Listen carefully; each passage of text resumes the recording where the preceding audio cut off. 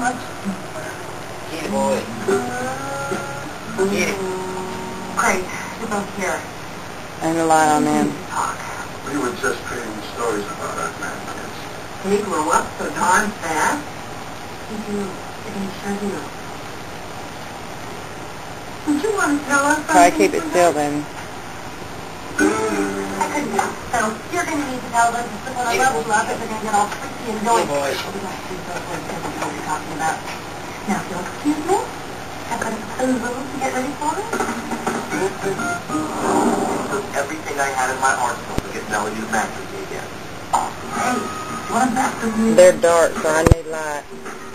It's totally different. The key is not going straight for her chest, but it's the more innocent area, like her hip.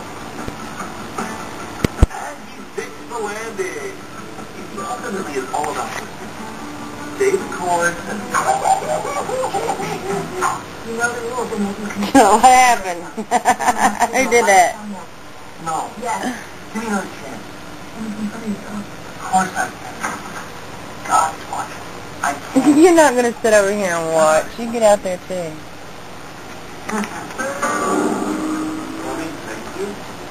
JD, I always wanted to talk about borrowing a scooter so I can run a few errands. He looks nothing like me.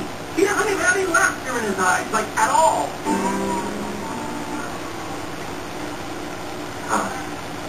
Sheldon. Mr. Bilbray. Relax, I already told. And Mrs. Sheldon and Mr. Bilbray have been doing a little talking. Turns out, after bridge every Sunday night, Mr. Sheldon has been stooping. Did I say that right? Yes, you did, sweetheart. Okay. Stooping Howard Steinberg, who is apparently a lot more than just tango partners with Estelle Keegan, who, apart from having a fake hip, is a well-known husky in Mr. Bilbray's nursing home. Oh, and Mr. Bilbray likes to have Yeah, boy, it on yeah. all fours. He's been hula Yeah, boy. I'm getting uncomfortable. Oh, you can go. Yeah, boy. Yeah, friends.